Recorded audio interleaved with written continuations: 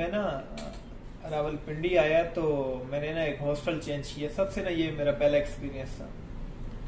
साथ में एक हॉस्टल में गया तो वहाँ पे मेरी ऐसे ही ना वार्डन के साथ तू तो मैं मैं हो गलती मेरी थी। लेकिन वो मौके पे बंदे को गुस्सा आ जाता तो मैंने हॉस्टल छोड़ा और ना मैं एक साथ वाले हॉस्टल में शिफ्ट हो गया। जिस हॉस्टल में मैं गया ना, वो थ्री सीटर रूम था और वहाँ पे एक ही बंदा था पहले ऑलरेडी कश्मीरी था। दूसरा मैं था, अभी तीसरा रूममेट आया ही नहीं था। वो जो कश्मीरी था ना, जब पहले दिन मैं सोया तो मैंने देखा कि उस बंदे ने ना रात को यकीन करें कि रात को उसने सात बजे कॉल लगाई और सुबह के ना आठ हो गए। वो बंदा सोया नहीं, किसी लड़की के साथ गप्पों में लगा हुआ है। चुप ही ना करे।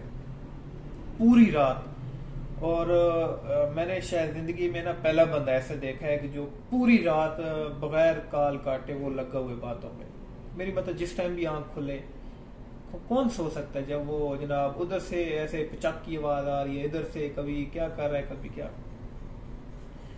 पहले दिन तो खैर मैंने गुजारा किया किसी तरह। दूसरा दिन आया ना तो फिर उसकी वो रूटीन रात को 12 बजे मेरी ऐसे ही आँख खुली तो मैंने उसको उठाया। मैंने बोला, यार, तुम्हारा क्या काम है ना?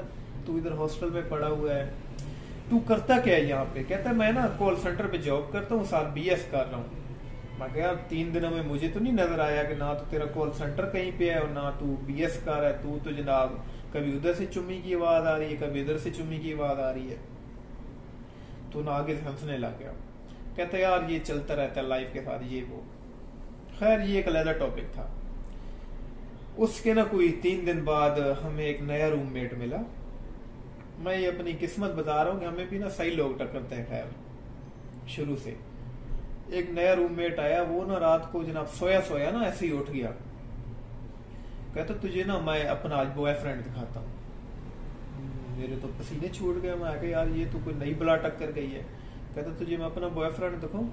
मैंने उसे बोला, यार बॉयफ्रेंड तो लड़कियों के हुए तो कहता, नहीं नहीं, लड़कों के भी होते हैं, मैं तुझे दिखाता हूँ। जो उसने मुझे पिक्चर दिखाई।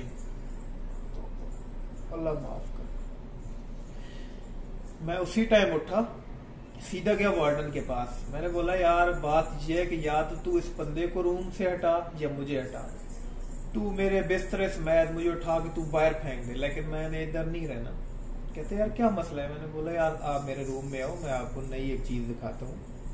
फिर मैं वार्डन को लेके आया मैंने उसे बोला यार इसकी ना थोड़ी बातें सुन। वार्डन ने से बोला हाँ, क्या मसला? कहता है मैंने तो कुछ नहीं किया मैंने तो इसको जस्ट अपना बॉयफ्रेंड दिखाया यहाँ पे और कुछ भी नहीं किया.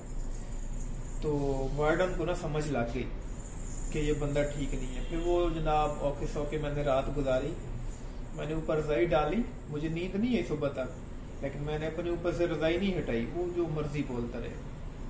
और शायद मैं लाइफ में फ़र्स्ट टाइम डरा हूँ मुझे ना अजीब सा ऐसे खौफ आना शुरू हो गया। ऐसे लोगों से अल्लाह माफ़ करे चिड़ होती है। तो सुबह हुई तो जनाब वार्डन ने उसको बोला, आप यहाँ से निकलो। कहता, मैं तो नहीं निकलता, मैंने तो पैसे दिए हुए मैं तो पूरा महीना काट के जाऊँगा यहाँ से। वार्डन कहता, तेरे पैसे हमें नहीं चाहिए, तूने जितने दिन रोटी खाई है, वो भी ले, तू इधर से निकल। फिर बड़ी मुश्किल से जनाब उसको निकाला है उधर से। तो बात यह है कि हॉस्टल लाइफ ना बड़ी अजीब लाइफ है।